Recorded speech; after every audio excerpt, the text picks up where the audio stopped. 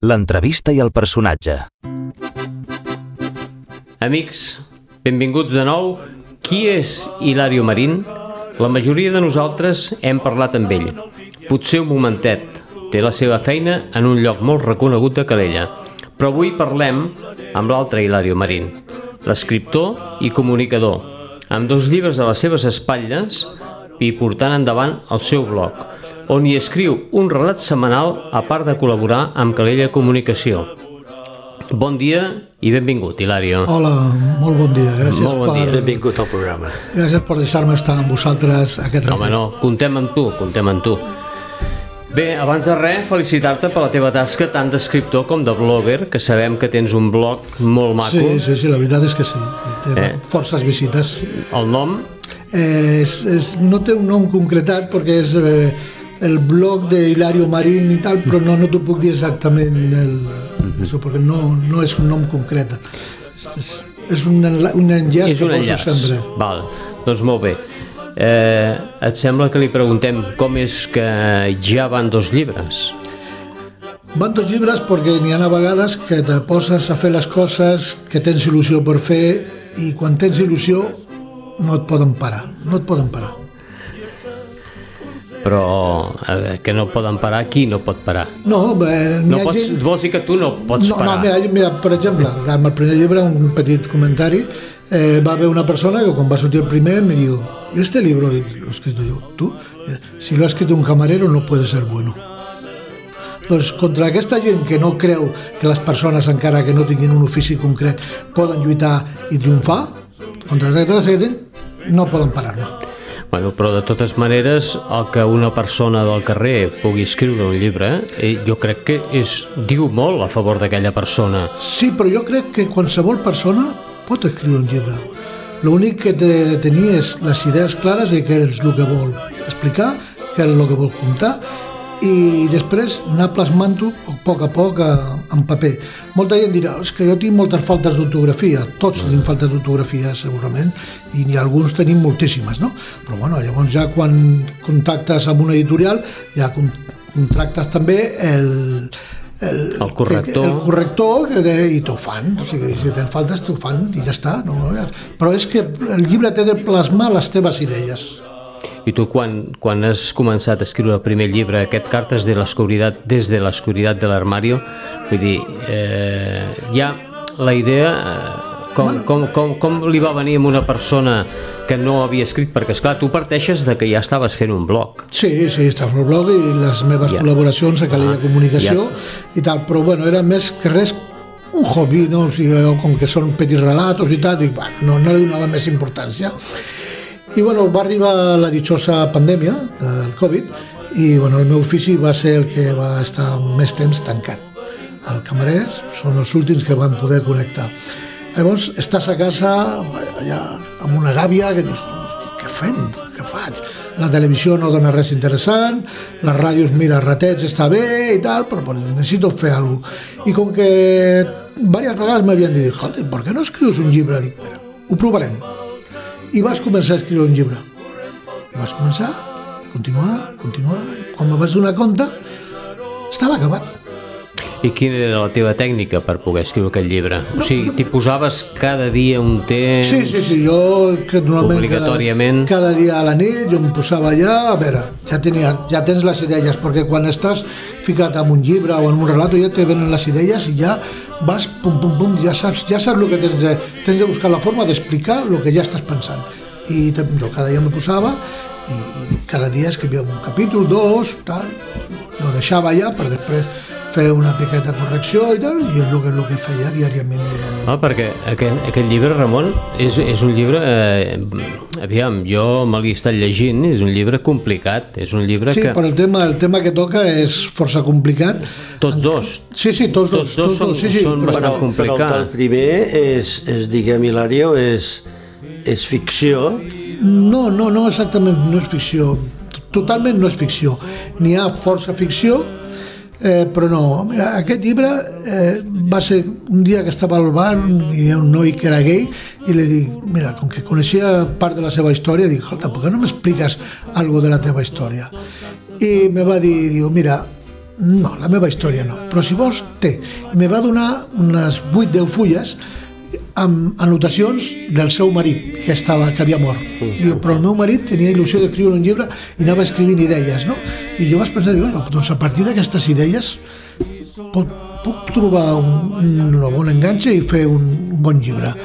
I llavors li vaig, vaig estar parlant amb ell, preguntant més coses sobre la vida dels gais i tal, perquè jo no tinc coneixements de la vida gay, perquè soc, soc hetero, i bueno, ells me van explicar-m'ho i llavors jo ja vaig entrellaçant unes coses a les altres posant força imaginació i, bueno, i va, va sortir va sortir el tema aquest Bé, perquè és, és, un tema, és un tema cru, dur, sí. però que avui en dia, eh, entre cometes, doncs es viu amb, amb un aire de llibertat, en el sentit de que ja hi ha unes lleis, però anys enrere, que seria el que parla potser el relat, pues, eh, seria ja una època on no havia aquesta tolerància i, i, és que, és que i estem, ho passava encara, magre. Eh? Encara que no sembla, estem igual que fa 30-40 anys, eh? encara que no ho sembli.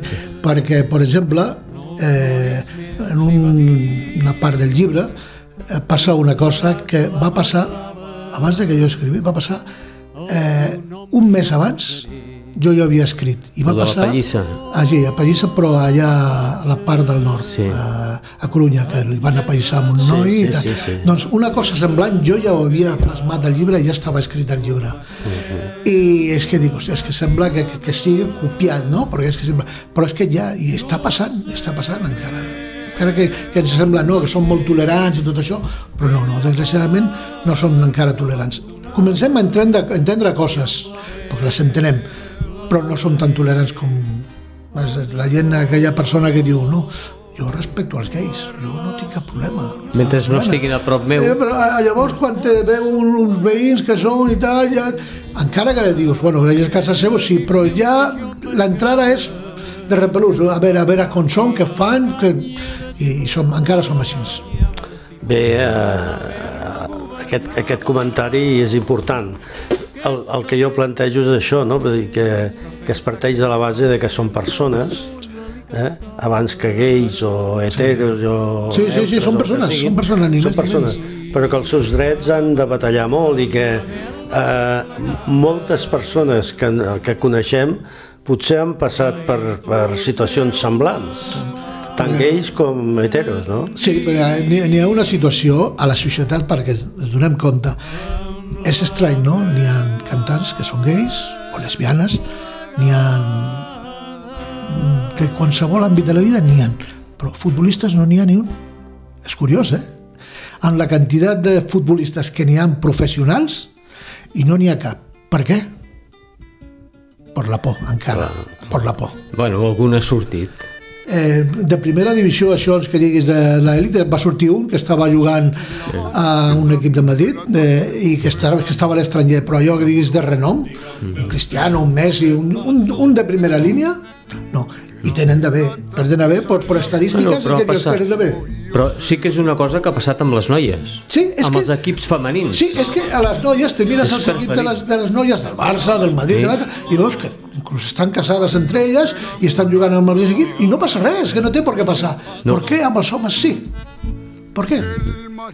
No sé, no sé, això potser els que els que puguin estar veient-se, eh, si compren el llibre, potser sabran alguna cosa més. Home, el que compri el llibre eh, té, té una cosa molt clara, que entendrà les sensacions que sent una persona que és homosexual i que la societat i la família no ho accepta. Des de dintre, ho veurà des de dintre. Des de dintre seu veurà i dirà, com és possible això? Doncs això és el que està passant a moltes famílies, que no accepten un homosexual dintre de la seva família que encara encara ho amaguen no, no, no diguis res d'això tu bueno, tu tal, però- no, no, no per què? no hi ha cap problema no hi ha cap problema Perquè s'entenia com una lacra social, no? Com... Sí, és com, un és fet. com una taca, no? Que dius, oi, la família tal, oi, no, no, jo, el meu, meu fill està casat amb tal, no, no, si és homosexual, és homosexual, tenim de respectar. Però la, la societat en si és hipòcrita, no? perquè Sí, molt. de cara a la galeria ho Molt. exposa i diu, Molt, i després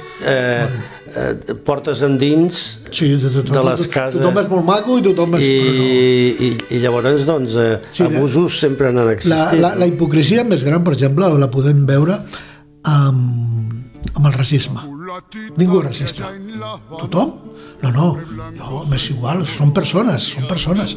Fins que el bloc on te vius que tots són catalans o tots són espanyols o tot, venen uns àrabs, uns africans i comencen a viure allà. Llavors és quan comencen... a- És que el menjar que fa fa una olor molt rara. És que ells fan olor. I aquí comencen, aquí es veu que la posen sí, no som racistes mentre estiguin a casa del veí, però quan estiguin a casa meu ja ja ho mirem d'una altra manera. I és així. Tens tota la raó. Sí, sí, sí. Tens tota la raó. Però bé, eh, la veritat és que és un llibre que, que enganxa, eh? Sí, la, la veritat és que uh, tothom, no sé si m'ho han dit per quedar bé o no me'l quedé, tothom que ho ha comprat, el primer va ser un èxit molt, molt, molt gran per, per un camarer, o sigui, no sóc un García Lorca, per un camarer és, és un èxit molt gran perquè, clar, més de 600, més de 600 llibres venguts, crec que és un... Ara no fem, no fem com el que acabem de dir. Què hi té a veure que siguis un cambrer? Bueno, hi ha, hi ha gent que pensa Que que... és el mateix. Ets camarer? Sí, haver estudiado. És el que te diuen moltes vegades. Però jo veig l'altre vessant del cambrer, no? El cambrer, per això que parlàvem de la soledat, i això, o millor, encara que visquis en família, però hi ha persones que se senten soles, no saben expressar-se i tal, i una miqueta, doncs, eh, a vegades eh, a certs cambrers he escoltat que, que, que hi ha gent que ho fa una miqueta com de confessionari, no? Sí, sí, sí. Som psicòlegs, som amics, som companys, som treballadors perquè tenim d'estar al servei, són moltes coses. O sigui, mo- moltes vegades diu la gent, bueno, ¿y por qué a un camarero se le tiene que dejar propina y a la chica del supermercado no? O al médico tampoc. i al médico tampoc. És, és una racion- un raonament que dius, hòstia, pues és veritat, no? Bueno, perquè el metge és metge, la cajera és cajera, però el camarer no. Camarer no és camarer, camarer és camarer, és psicòleg. Que no, m'ha passat això amb el fill, que no sé què, pum, pum... I és el que jo dic al client. Tu, en qualsevol moment, pots agafar la porta i marxar, però jo tinc d'estar aquí 8 hores i tinc d'aguantar, m'agradi o no m'agradi. Jo contes històries, me n'he contat algunes, però no totes les comptables. Eh, és, és que és... Deixarem per un tercer llibre, potser, aquestes històries? No, aquest ja seria per el quart, perquè el tercer, quart. el tercer està en marxa Ah. i va forces capítols, ara està una miqueta parat per la feina de l'estiu que és molt més forta, però el tercer està, està en marxa i està ben encausat. Està ben. I si parlem del segon? Sí, sí, sí, sí. Del segon, molt bé. eh, quina, quina inspiració et comporta et vas, quan et trobes amb la possibilitat de fer aquest relat eh, el teu cap comença a barrinar i, li, i, troba, i troba que és un tema que pot ser prou interessant Bueno, jo al principi no li vas, no, no buscava el llibre aquest, no, aquest, aquest llibre va sortir eh, a la presentació del primer. A la presentació del primer, una dona que estava allà, que va comprar el llibre, li vas dedicar, me va dir, escolta, tu escriuries la meva vida? Jo li vaig dir, mira, tothom ens pensem que té una vida molt happy, molt feliç, molt emocionant, i no és tanta la cosa, no? Però si vols, quedem, parlem, i, bueno, a veure què... I sí, vaig anar a quedar amb ella i venien, prenien cafè i bum, bum, bum. Jo anava agafant anotacions, anotacions, i me vaig donar compte de que, bueno, no era un llibre molt gros el que sortiria, però sortiria un llibre molt interessant perquè per totes les coses que va passar aquesta dona és, és increïble. És molt fort. No, la que, mm, has de tenir, un- per explicar aquestes històries, a vegades llegim llibres on, amb tots els respectes, eh, jo no sóc tampoc un, no tinc les eines potser per ser un crític literari, però que a vegades ja està l'omple una miqueta amb, amb retòriques, amb repeticions, amb, amb valoracions, amb contradiccions, etc. Però tu vas al gra, vull dir que, Sí, no, no, no, jo quan... que són llibres breus, que són fàcils d'estudiar, Sí, sí, sí. o sigui, de llegir, però, però vas de cara al gra, eh? Mira, sí, entres, em- jo- entres al trapo. Jo, aquesta forma d'escriure crec que, crec que és la forma que jo penso i la forma que jo parlo amb la gent, és una forma de carrer. O sigui, no, no busquem coses estranyes, normals. Vale, jo, quan era molt, molt jovenet, tindria uns 13, 14 anys, una persona me va regalar dos llibres. Dos llibres d'un escriptor que es deia José Luis Martín Vigil. Era un cura que escrivia llibres, però llibres d'aquest estil, del dia a dia. No, no, no contava, no, no, eren coses reals que estaven passant i que passaven i que pas, continuen passant. I me va enganxar la forma d'escriure d'aquell home tant que m'he quedat aquí, no, no he volgut evolucionar amb una altra forma d'escriure. Vull contar les coses tal com són. Uh -huh. No, no, t'hi poses amb la pell aquí, amb el, amb el llibre aquest Sí. que tens, amb aquest segon que ens parla d'aquesta dona Com, com, vinguda. com ha rebut la, la, la gent que la llenca aqu- aquesta Bueno, el prim... segona el, història? a veure, aquesta dona en principi no surt el seu nom, la gent que la conec eh, ha pogut parlar amb ella i ho sap, sempre si ha volgut explicar que era ella, ha explicat, jo indudablement no, no diré qui és perquè no, no, tinc dret a, a parlar de la vida privada d'ella, no? però bueno, la gent que ho conec, la conec, dius, eh, pues no sabíamos estas cosas. S- Coneixien part, part de la vida d'ella, però no tota.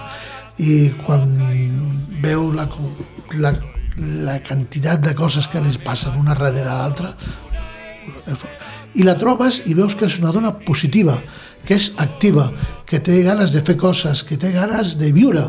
Dius, amb tot el que ha passat, com pot tenir aquest espírit? Bueno, però és el que parlàvem abans, eh, fora de micro, parlàvem i dèiem que això, que que aquest llibre és un- una mostra del que moltes, moltes d'aquestes dones van passar a la postguerra. Sí, sí, sí. Ja, ja no parlem dels homes, No, no, no, eh? no. que és l'altre vessant, sinó parlem d'aquestes dones i és que, és que en van ser moltes, van ser moltes Mira, les que es jo- van trobar així. Sí, jo vaig néixer en un petit poble d'Andalusia que es diu Torreblasco Pedro, que està a 6 quilòmetres d'un més conegut que es diu Linares. I allà, per exemple, n'hi havia almenys 4 o 5 famílies que tenien de 12 fills per munt. No n'hi havia televisió, no n'hi havia res. La dona, que és el que tenia de fer? Obrir cames i, eh, i cuidar els nens. Res més. L'home anava, treballava tot el dia, de sol a sol, com deien, anava després al bar a fer el xatito i si s'havia calentat la boca, després rebia la dona. És, no, no, no, no. I ninguna d'elles s'atrevia a lluitar. S'aguantaven. Es, es lo que nos ha tocado. Es lo que Dios te ha mandado, hija, le decía la madre. I no, sí, no se rebel·laven. Sí. I aquesta dona, sí, aquesta dona del llibre va tenir la força de rebel·lar-se, que és lo important.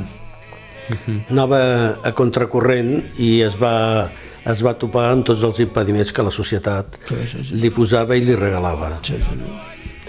Bé, Bueno. doncs, amb l'espera potser d'aquest tercer llibre, Que no ens pots adelantar, ara que no ens sent ningú, Ara que no ens sent una, mi, una, una, una miqueta cap a on tiraràs, ara? Sí, sí, sí, és que la sinopsis la tinc escrita, ja dic, el llibre va per la meitat ja.